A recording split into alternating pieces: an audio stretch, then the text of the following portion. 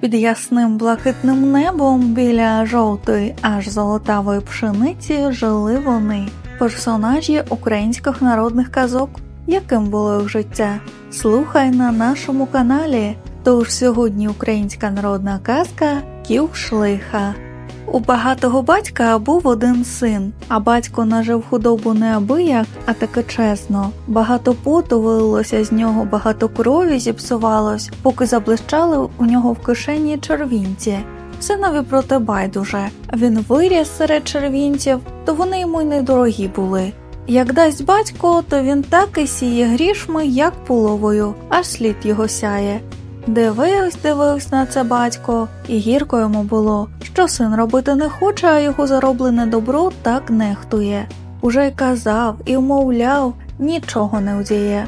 У той надумавсь батько. Пішли вони якось сином до річки, посідали, балакають. Іде якийсь чоловік і несе горобця. Заманулось синові на щось того горобця купити. Зараз і вийма золотого. Дай мені, каже батько. Син дає. Батько замірив з рукою стиха на річку, наче хоче золотого кинути, а сини байдуже. Батько вдруге замірився, син нічого. Узяв батько тоді та й кинув воду червінця. Син навіть не спитався батька, нащо той до чого, а зараз поліз у кишеню та й вийняв другого червінця. Батько бачить, що лиха година, та й каже синові Ось віддай мені капшука з грішми. Син дає. Тоді батько знов Іди ж ти каже, як оце ти є, та зароби червінця. Як заробиш, тоді приходь, і моя худоба буде тобі. А ні, то Бог з тобою краще я на сиріт віддам. Син аж засміявся. Піду, каже, а собі думає от розумний батько, чи диво то червінця заробити. От і пішов він, ішов він чи довго, чи ні, та й замислився, що я робити вмію. Письмо я знаю. От і пішов він скрізь по місту шукати роботи письменської. Та куди не поткнеться, скрізь не треба, а тут уже й їсти хочеться. Продав він кожушинку, уходить у легенькому, а вже холодна осінь. Прийшов у бакалійницю, проситься у крамарчуки, у приказчики, питаються в нього Де ж ви були, що знаєте?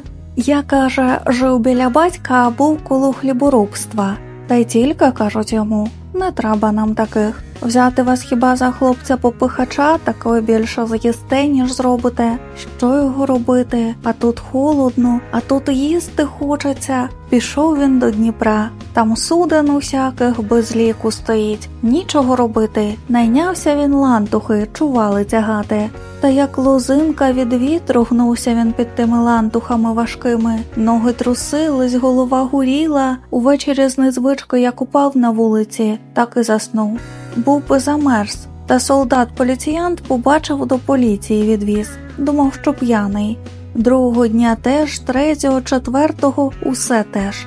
Він уже й не доїдає, і не допиває, щоб більше грошей залишалося, а ще й далеко до золотого, бо й плата мала, і сили в нього небагато.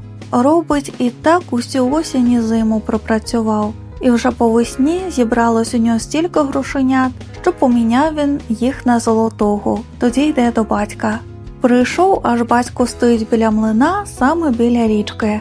Здорові, тату, здоров, синку, каже батько. Ну, синку, приніс. Лізе син у кишеню та потихеньку, як скляне, вийма щось заверчене у ганчірочку, а потім ще й папірець. Еге, червінець, та й боїться давати й батькові. Узяв батько, повертів того золотого у руках та як заміриться на річку.